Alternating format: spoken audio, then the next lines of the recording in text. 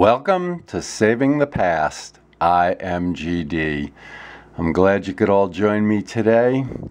Well, today is April 8th, 2020, and it is currently 4:59 a.m. Rocky Mountain Time.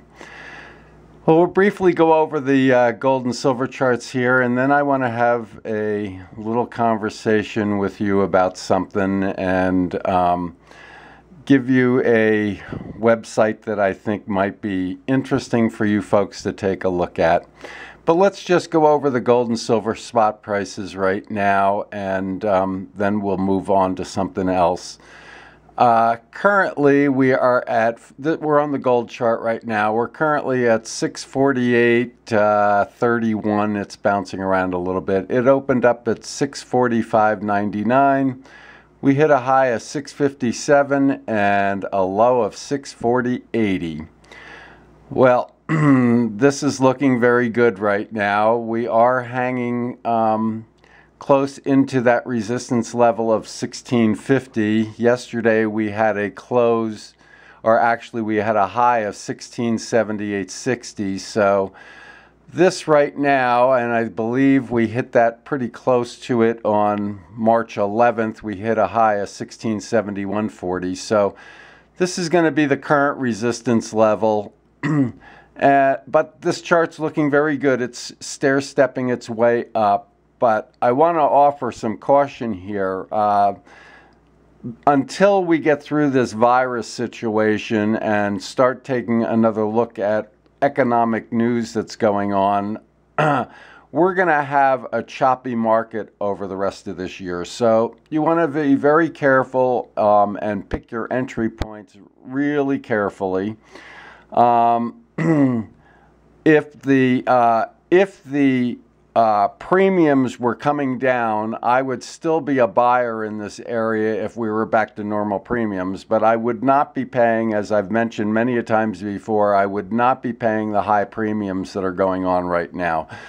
So you need to factor that in. But let's take a look at the silver chart here real quick. And um, we are currently at 1506. We opened at 1497 hit a high of 1513 and a low of 1484.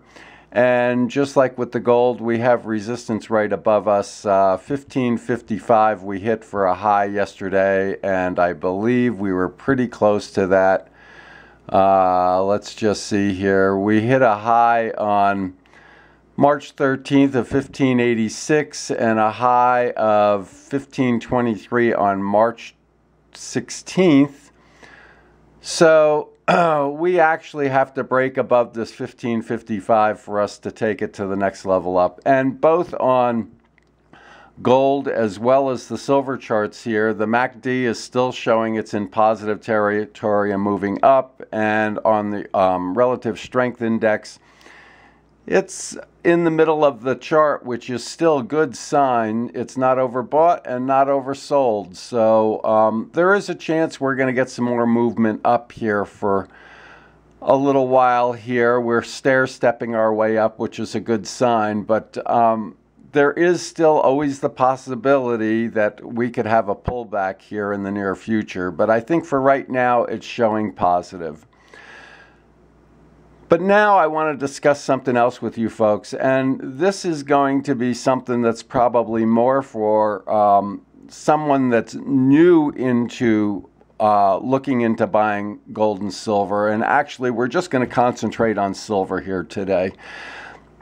Um, so some of you more experienced people probably already do this, but I will share a website with you in just a few moments here. Uh, that I think might be very helpful for you. I can't go into too much detail on this website because they do have um, they do have a disclaimer that you can't be using their uh, information, but I will point out the website real quick and then I will come out of it. This is from geology.com and it's I will put a link down below and I think it's a, very um, good website for you folks to be taking a look at. Uh, there's some great information in here, even for you more experienced people.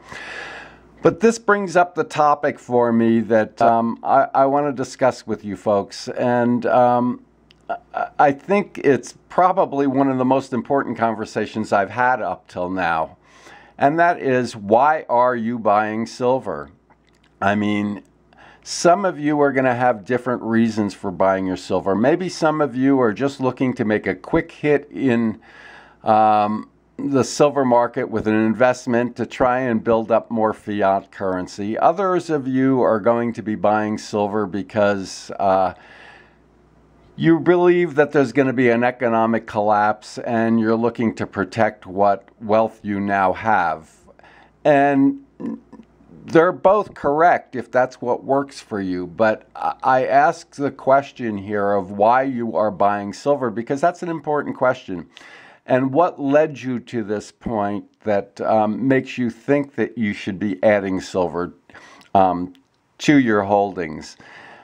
Uh, you've heard me discuss in the past where I think you need to be first, and that is get rid of debt, build up enough cash, and of course, right now it's it's uh, showing how this is all important. But building up enough cash to be able to take care of your expenses for three to six months um, and again, this is showing to be true right now because many of you might be out of work right now or working on uh, a limited income. Uh, some of you might be filing for unemployment, but it is important that you have those features uh, taken care of first, getting rid of that high credit card debt and um, building up enough cash to be able to hold yourself over for a while. But I get back to that question. What led you to this point that makes you think that um, you want to be adding silver to your holdings? Uh, did, did you hear talk around a water cooler? I mean, that's a, a great place that a lot of people hear about investments. Uh, a friend had said to them, hey, the latest, greatest thing right now, you need to get into buying silver or you need to get into buying a particular stock because it's going to go up. Well, that is not the way to be buying silver or any investment. Um, if you were to be buying a stock, what you would do is you would first look at uh, what industries during this particular time have the most chance to either hold their own or go up. And then from there, you would compare what industry you're looking at as to that industry that um, has that strong possibility. And then you'd look within the industry that you're interested in um, and find the most appropriate stocks in that industry, the ones that have the most uh, benefit of possibly going up now or in the future. Okay, so I used a little analogy of stocks there. But I want to go back to silver now. And what you have to decide here now is you can't just take that talk around the water cooler that somebody heard some big guru say, hey, you need to be buying silver because this is the future. I am a big proponent of having gold and silver in your portfolios, yes, but you got to have the right reasons for it and you have to have an outlook for what is going to potentially happen down the road here. Uh, we've discussed it many a times. Gold is the metal that you want to be holding when uh, economic uh, situations like this come up because it tends to hold its value a little bit better. But somewhere along the line, silver is going to make its move up. Right now, um, we have a situation where industry around the world basically has shut down. Now, China claims that right now they are starting to get over um, the virus that's going on and some of their economic activity is coming back online again. So that is a good sign if what they're saying is actually true. You've got to take what China says with a grain of salt because not everything that they tell you is going to be true. Excuse me.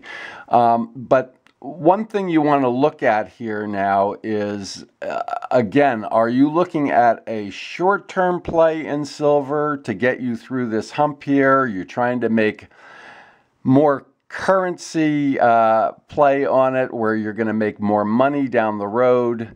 Um, or do you have this long term um, thinking with it? As far as silver is concerned, one of the things you're going to want to be looking at is what is this metal actually used for? Uh, you know, uh, investors that buy one, five, 10 ounce, uh, 50 ounce, and 100 ounce uh, bars of silver are really a very small part of the silver industry the industrial side of it is the major side of this. So, what you need to do is you need to take a good look at what industries are using silver, and uh, that's why this link that I'm going to give you for geology.com is going to be very helpful to you because it goes over all the different industries that silver is being used for. And what you need to then do is just like with the stock situation I was talking about, you need to break it down and take a look at each of those particular uses and think about what the future is for those uses. If you go back to the 1970s and take a look at what the major use of silver was, back then it was basically film and um, and X-ray film. So, film for cameras and x ray film. Well, we all know that that industry basically died. Uh, when digital came around for cameras, uh, the use of silver in film basically died. So, you want to take a look at each of these different industries that are using silver right now and think about whether in the future, that's still going to be a viable industry. So this is if you're a long-term investor, these are the things you want to think about and what other industries may come along to pick up the slack. So uh, basically what I'm saying here to you folks is, is you don't want to just take water cooler uh, talk telling you that now is the time to buy silver you want to have some kind of a plan looking into the future as to whether that is still going to be viable in five years, 10 years from now, 15 years from now, or however long that uh, you think you're going to be holding on to your metal. And uh, try and look into that situation there as to whether that's still going to be a viable industry down the road. Right now, the one that's growing the most for use for silver seems to be um, solar panels, uh, voltaic type uh, situations there. So, is this an industry that's going to keep on growing and is it going to keep on pushing the price of silver up, or is this an industry that is going to actually collapse somewheres down the road and a big chunk of silver usage is going to be pulled out of the market for that and uh, the price of silver is going to react to that or is something else going to come along that's going to pick up that slack and keep silver a very viable uh, material. Now again, for those of you that are just looking to make a short-term play, well I think over the next couple of years you're going to do very fine uh, once we get through this situation that we've got going on right now. But for those of you that have a long term prospect here, thinking about what silver is going to do, you have to take these things into consideration as to whether it's going to affect the metal or not. Yes, the uh, silver stacking community is helping to keep this metal propped up right now. It took that big drop recently uh, based on the thought that uh, the economic engine was going to come to a complete stop, which it really has, and that was factored into the prices. Um, but uh, over the next couple of years, we're going to see that spot price move up. We're going to see those premiums move back down. And for a short term play over the next two years, maybe even three years, depending upon how long it takes us to get out of this uh, situation we're in right now, there's going to be a decent move up. There's going to be many moves down too. So you you've got to plan for that uh, between now and the time that this market decides to top out. But once it gets towards that top, that's when you have to start deciding: Are you going to keep on holding on to this metal and play out what um, is going to happen over the next five or ten years? So I hope that this website here, geology.com, is going to help give you some of the industries there that are going to be the future for silver or what are currently um, going on with silver for use and uh, give you some ideas of whether that's going to be sensible to stay in the silver market or whether once it starts coming close to a top it's going to be time to get out and wait for a pullback to get back in again. Well, I know I was a little all over the place here with this today, folks, but um, I, I, just wanted to give you some pointers there that um, sometimes you have to dig a little bit deeper than just somebody telling you it's uh, a good investment to make. You really want to have some background information on it so that you can make sensible decisions for the future for yourself because you surely don't want to watch silver make some kind of a big move and start heading up into the upper 20s where there's resistance levels, the mid 30s where there's resistance levels, and up into close to the $50 range where there's a resistance level, and only have it fall back like it has in the past to possibly down where we are right now again. And then you sit here for years saying, why didn't I sell up there? So you you want to have all this as uh, information that's going to help you make that decision as to whether you're going to want to pull out at those resistance levels or whether you're going to want to play the long-term play on it with the industries that are out there and whether they'll keep that silver price up or whether they're going to eventually slow down those industries and the price of silver is going to collapse again. Okay, folks, I hope this information helped you today. And um, I want to thank you all for being here with me. And uh, for all of you that are new here, I really appreciate that you've joined me. I hope I'm able to present some information for you and with some of my previous videos as well as this one here that can help you make some decent decisions for your future going forward with this. And um, I just want to say to all of you, I hope you're being safe out there, uh, keeping your distance from other people right now until we get past this virus situation here. And until next time, folks, thank you for being here. I appreciate it. This is GD. Have a great day. Take care of yourself.